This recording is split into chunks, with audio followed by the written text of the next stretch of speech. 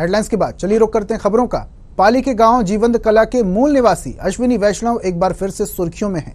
वे आज मोदी सरकार की कैबिनेट में शामिल हुए हैं। आपको बता दें कि पाली ज़िले की रानी तहसील के जीवंत कला के निवासी वैष्णव 2002 से 2004 में तत्कालीन प्रधानमंत्री अटल बिहारी वाजपेयी के कार्यकाल में पीएमओ में डिप्टी सेक्रेटरी थे। उनका जन्म पाली ज़िले के खेरवा गाँव में हुआ था और पढ़ाई जोधपुर में हुई।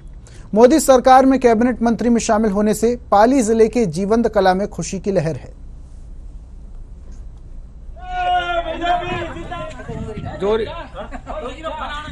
लगाओ नहीं हमारे बड़े भाई है और पूरे देश में और मोदी के कैबिनेट में मंत्री बनने के बाद हमको इतनी खुशी हुई है कि हम फूले नहीं समा रहे गाँव में और पूरा देश का नाम रोशन कर रहे हैं और आगे भी करते रहेंगे और हम हमारे भाई से प्रेरणा लेते रहेंगे।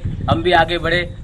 यही हमारे हाँ, काम है। बहुत खुशी हुई। जी का नाम ही नहीं प्रदेश में नाम हुआ है कि वो कैबिनेट मंत्री बने मोदी जी तो मिठाई वगैरह बढ़ेगी शाम को? बढ़ेगी बढ़ेगी मिठाई बढ़ेंगी हाँ। सब होगा फ़ंक्शन होगा जोधपुर में हमारे हाँ, हमारे जेठू था ऐसा मैं खुशी भी ऐसा।